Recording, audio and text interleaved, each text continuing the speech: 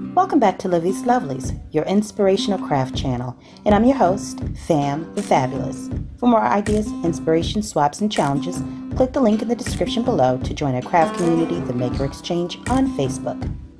Welcome back, welcome back, welcome back to the Lovely Lab. If you're new to the channel, I am going to go ahead and encourage you now to hit the subscribe button along with the notification bell so you don't miss any of the lovely uploads here on this channel. Now, if you're not new and you're a current subscriber, thanks just so much for coming back.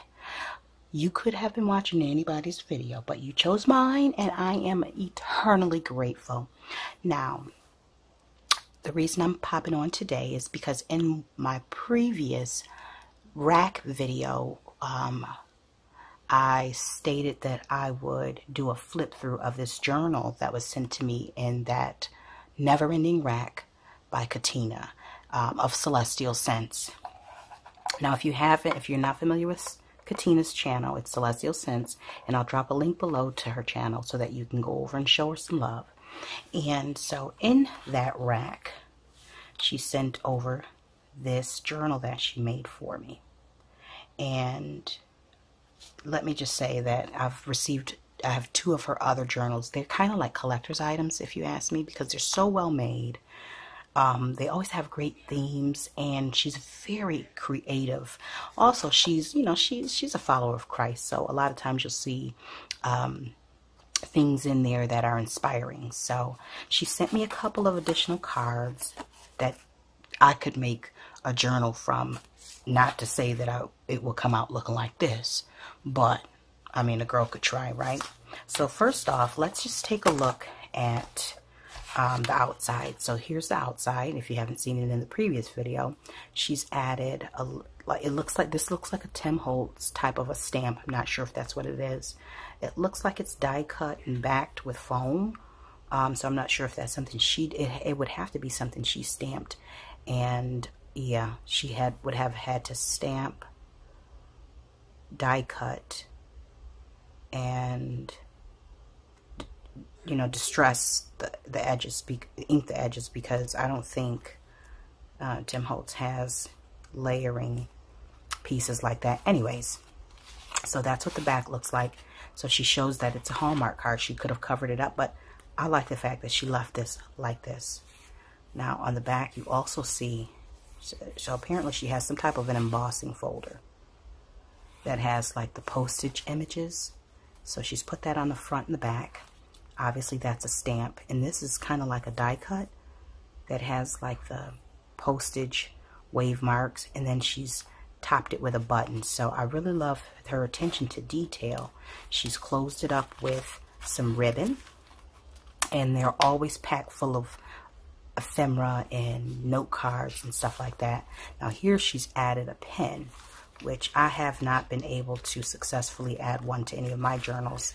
So I'm going to have to check with uh, Katinah and find out exactly how she managed to do that because what is the point of having a journal and you don't have a pen with you to journal, you know, when you're out and about. Anyways, so this is very stiff and I don't know if she's, it feels like she's layered that or what, but this says thank you. It's embossed right there. And then, so she's got a variety of different papers and lace trims. Look at that little young man, African-American man. And while I am a lover of every color of human beings, I do so love to see um, African Americans incorporated into our crafting because it's not very often that we get to see ourselves in our crafting. So whenever I see it, guys, and you see me taking it back and I comment on it, don't feel alarmed. Just know that as a black woman, I don't, it, you know, if you shop the aisles, you'll notice that, you know, there's not a lot of, a lot of, um, diverse representation for any other ethnicity, be it Asian, Hispanic, or, you know, or black. So when I see it, I'm happy. So here's her card, Celestial Sense. And let me make sure, I'm not going to put that other information up here because I'm not sure she'd want that out there. Okay, so then she's added some, looks like, okay, we got the uh, airmail, travel card, bingo card, postcard. Isn't it so cute? I cannot wait to use these. Because God knows I don't have any of this stuff. And let me just make sure that I state while we are, um, uh, while I'm recording that my baby is sick. So you might hear him coughing in the background. Don't be alarmed. I'm not ignoring him. I've already medicated him, giving him something to eat. So he's resting. And dad's home too. So, oh, a citation.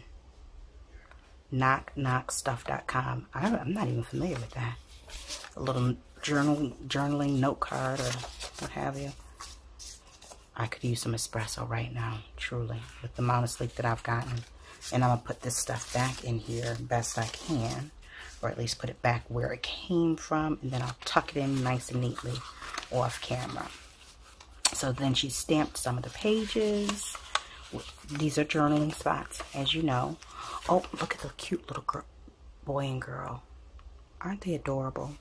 And then there's the map page little note cards. That is adorable. I love the little note cards. And I have recently found um, that journaling on just random pieces of paper uh, really quickly to get thoughts out, which is a trick that I learned from Liz, from Liz for a Day, um, helps me stop procrastinating and actually write down thoughts and events and experiences that I'm currently having so that I'm not trying to recall that information later on down. I can always throw it into my junk journal and make the page pretty. But I think it's important to kind of just get that out, purge that those feelings so that they're there. You've got them. Okay, so there's a little trip tip, uh, tip for you guys, um, say thanks to Liz for that because I know I certainly have. Now in here, there's some more stamps. And I'm not going to go through all of them, but oh, this is the one that's on the front. So I don't have that. My hand being brown probably doesn't help, right? and I'm trying to be relatively quiet so as not to disturb the boy while he's resting. Because if I disturb him, if I make too much noise, then he'll think that it's okay for him to get up and maybe game or, you know, run about when in essence he should be resting so that the medicine can work and his body can recuperate from what little uh, virus or cold he is experiencing at the moment. You know how it is, moms. The minute you give them the okay to get about that bed, they want to rip and run, and uh, sometimes it just takes you back a day or two in terms of healing time. So then we've got some gridded paper. This looks like a pocket here that you can tuck. Oh, wait, wait, no.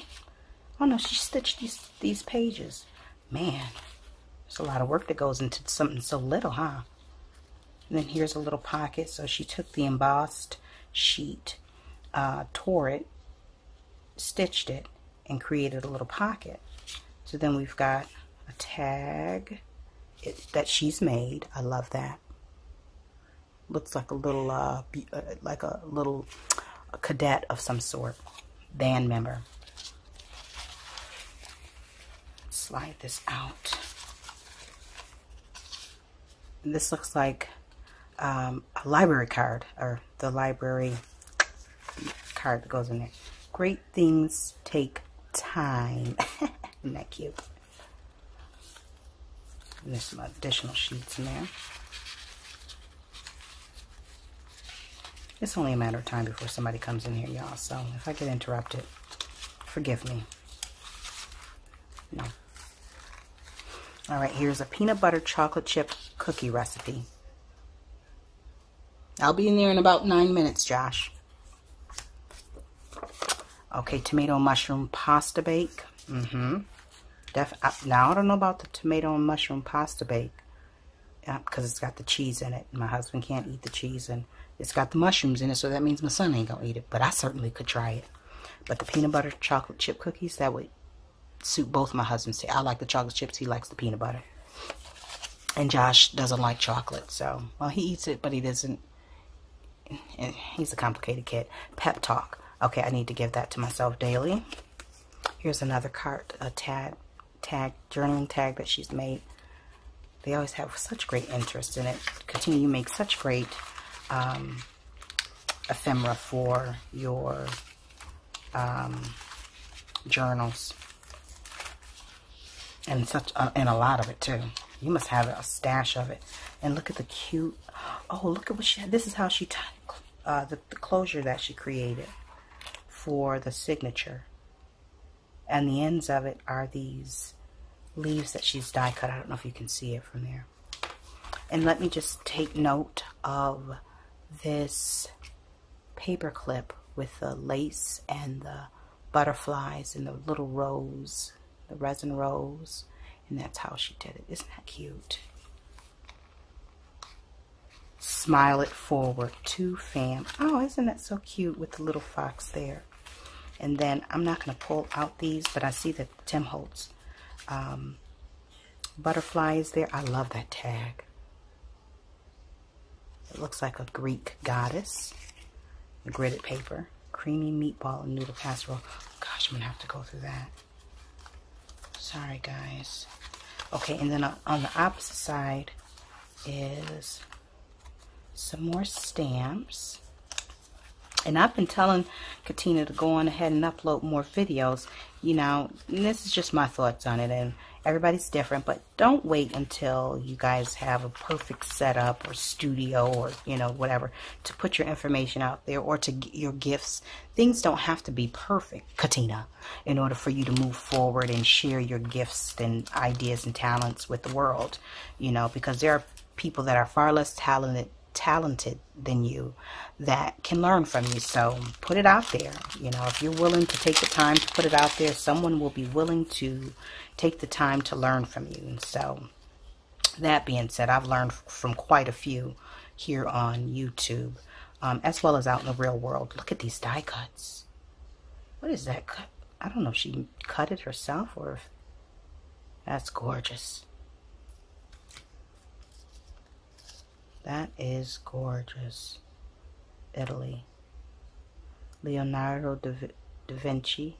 Da Vinci. I A. I can't pronounce that, but love this stuff. I wonder if this is. She gave me a stamp set. I got to take a look at it and see if these are are from the same stamp set. I'm not gonna. I'll put these back in later. Isn't that cute? And there's that little glassine bag. Magazine page of flowers. Love it. Book page. Look at him. Oh my God, he looks like my, my husband at that age. Minus the apparel, because my husband doesn't date back that far, but the face does. Katinah, you did such a great job with this. All the detail and the different elements, the varying elements, definitely isn't boring. Okay? And I, I like the theme of it. The stamped thank you theme. I love it. And then here's the last card. You know, I actually like the size of this too. This is perfect for my daily journaling. And I just want to get some thoughts out. Look at Joseph in his colorful robe.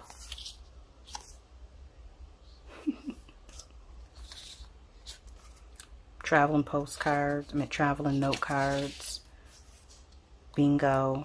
So these are, you know, again, anyways. So this is the journal that Katinah from Celestial Sense has created for me and sent to me. And I wanted to share it here on the channel because her aesthetic is a little bit different from mine. Um, it's, it's quite a bit different from mine, but I appreciate it. I, I do like to um, I create from my mind space. And so I can only come up with what my mind uh, has access to. And typically speaking, I default to black, white, and bright, or black, white, muted, and bright. You know, that's just me.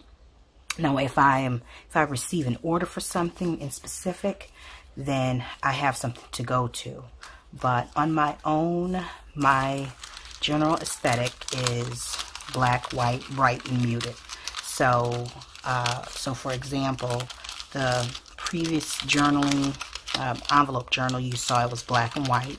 Now it had punches of color, but a lot of my um, paper pads and things of that nature have uh, the the paper that um, a lot, you know, quite a bit of the pages have black and white prints. So that makes it easier for me to pull from. Now the patterns are different, different textures, different paper weights, but that's just my general aesthetic. And so I would like to know, and I'm quite interested in knowing what is your general aesthetic? What is your go-to shabby chic? You know, you've got the rustic, you've got the um, vintage, you have um, retro, you have um, pastels and florals. There's so many different things I'm interested in knowing and getting to know. What are your favorite and go to? Look at their phone ringing. Um, aesthetics. So, anyways, guys, until we're back here again on YouTube, drop your information below in the comments in response to that question. But until we're back here again on YouTube, guys, stay encouraged, stay blessed, and stay creative in crafting. Bye for now. If you enjoyed this video, go ahead and give it a thumbs up. Hit subscribe to join the crafting community and be sure to click the bell for notifications of new uploads. Thank you so much for watching. Now stay tuned for more from Livie's Lovelies, your inspirational craft channel. Bye for now.